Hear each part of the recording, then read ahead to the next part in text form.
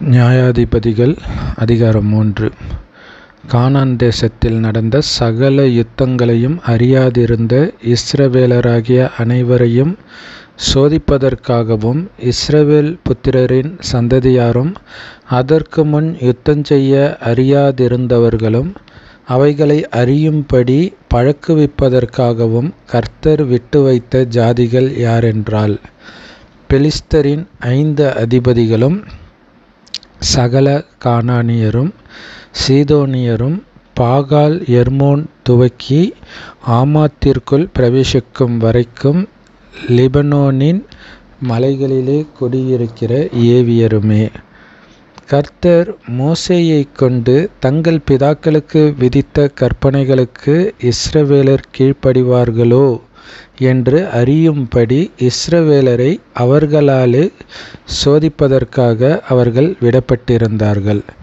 இப்படி இஸ்ரவேல் புத்திரர் கானானியர் ஏத்தியர் எமோரியர் பெரிசியர் ஏவியர் எபூசியர் ஆகிய இவர்கள் நடுவே குடியிருந்து அவர்களுடைய குமாரத்திகளை விவாகம் பண்ணி தங்களுடைய குமாரத்திகளை அவர்கள் குமாரருக்கு கொடுத்து அவர்கள் தேவர்களை சேவித்தார்கள்.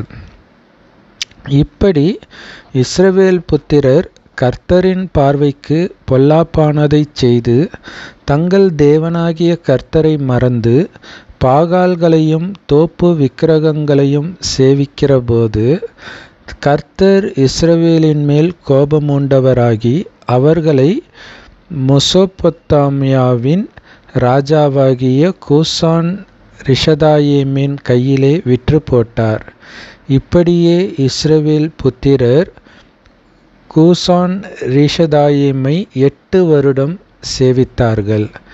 இஸ்ரவேல் புத்திரர் கர்த்தரை நோக்கி கூப்பிட்டபோது கர்த்தர் இஸ்ரவேல் புத்திரரை ரட்சிக்கும்படி காலேபின் தம்பியான கேனாசுடைய குமாரனாகிய ஒத்னியேல் என்னும் ஒரு இரட்சகனை அவர்களுக்கு எழும்ப பண்ணினார். அவன் மேல் கர்த்தருடைய ஆவி வந்திருந்ததினால் அவன் இஸ்ரவேலை நியாயம் விசாரித்து யுத்தம் பண்ண புறப்பட்டான்.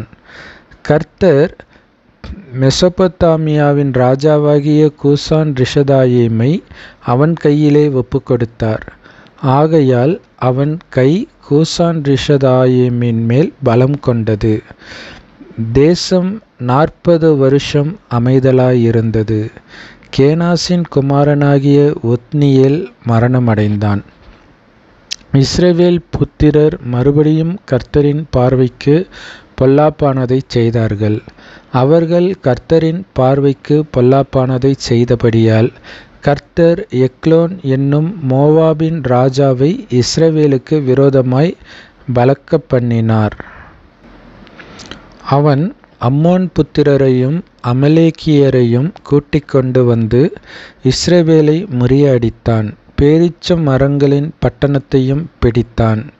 இப்படியே இஸ்ரவேல் புத்திரர் எக்லோன் என்னும் மோவாபின் ராஜாவை பதினெட்டு வருஷம் சேவித்தார்கள்.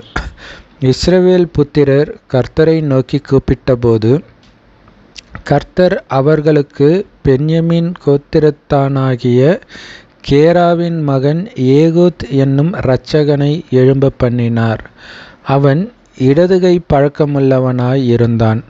அவன் கையிலே இஸ்ரவேல் புத்திரர் மோவாபின் ராஜாவாகிய எக்லோனுக்கு காணிக்கை அனுப்பினார்கள். ஏகூத் இருபுறமும் கருக்கும் ஒரு முழ நீளமுமான ஒரு கத்தியை உண்டு பண்ணி அதை தன் வஸ்திரத்துக்குள்ளே தன் வலதுபுறத்து இடுப்பிலே கட்டிக்கொண்டு காணிக்கையை மோவாபின் ராஜாவாகிய எக்லோனுக்குச் செலுத்தினான். எக்லோன் மிகவும் ஸ்தூலித்த மனுஷனாய் இருந்தான். அவன் காணிக்கையை செலுத்தி தீர்ந்த பின்பு காணிக்கையை சுமந்து வந்த ஜனங்களை அனுப்பிவிட்டான். அவனோ கில்காலிலுள்ள சிலைகள் இருக்கும் இடத்திலிருந்து திரும்பி வந்து ராஜாவே உம்மிடத்தில் சொல்ல வேண்டிய ரகசியமான ஒரு வார்த்தை உண்டு என்றான். அதற்கு அவன் பொறு என்றான். அப்பொழுது அவனிடத்தில் நின்ற யாவரும் அவனை விட்டு வெளியே போய்விட்டார்கள். ஏகுத் அவன் கிட்டே போனான். அவனோ தனக்கு தனிப்புற இருந்த குளிர்ச்சியான அறை வீட்டில் உட்கார்ந்திருந்தான். அப்பொழுது ஏகூத் உம்மிடத்தில் சொல்ல வேண்டிய தேவவாக்கு எனக்கு உண்டு என்றான். அவன் தன் ஆசனத்திலிருந்து எழுந்திருந்தான்.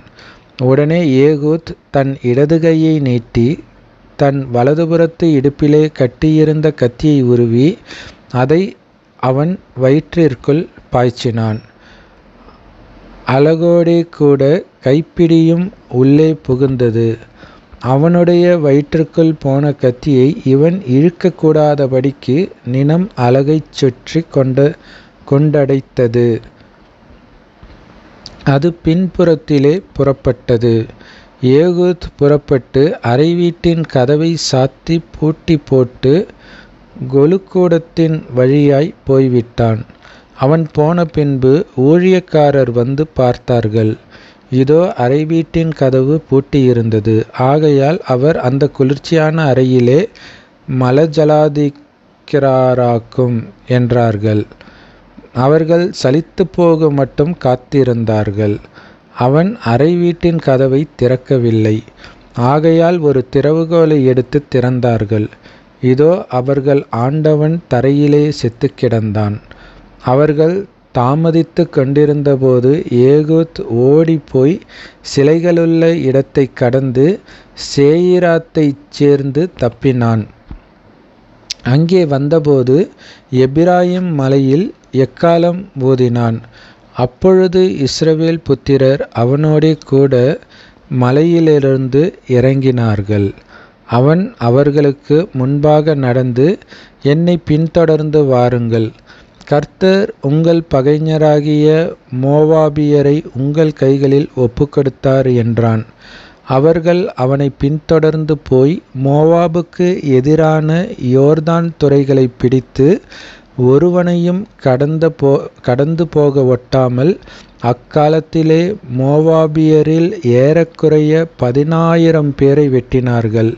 அவர்கள் எல்லாரும் புஷ்டியுள்ளவர்களும் பராக்கிரமசாலிகளுமாய் இருந்தார்கள். அவர்களில் ஒருவனும் தப்பவில்லை. இப்படியே அந்நாளிலே மோவாப் இஸ்ரவேலுடைய கையின் கீழ் தாழ்த்தப்பட்டது. அதனாலே தேசம் எண்பது வருஷம் அமைதலாயிருந்தது. அவனுக்கு பிற்பாடு ஆனாத்தின் குமாரன் சம்கார் எழும்பினான்.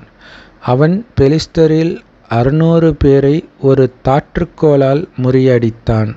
அவனும் இஸ்ரவேலை இரட்சித்தான்.